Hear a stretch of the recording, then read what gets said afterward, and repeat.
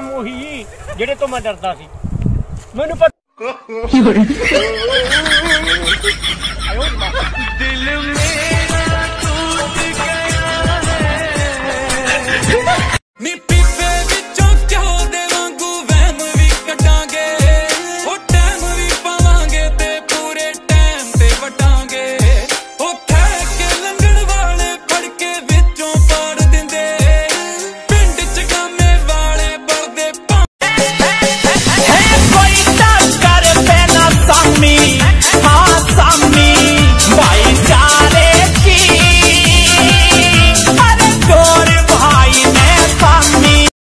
आपने सबसे पहले घबराना नहीं है।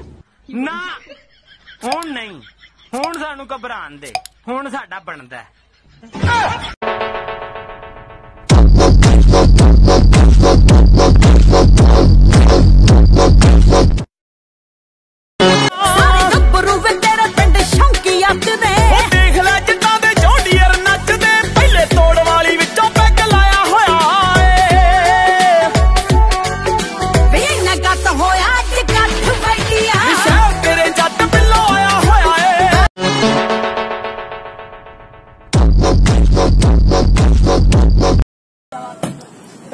बड़े हैं अभी ड्राइवर भाई।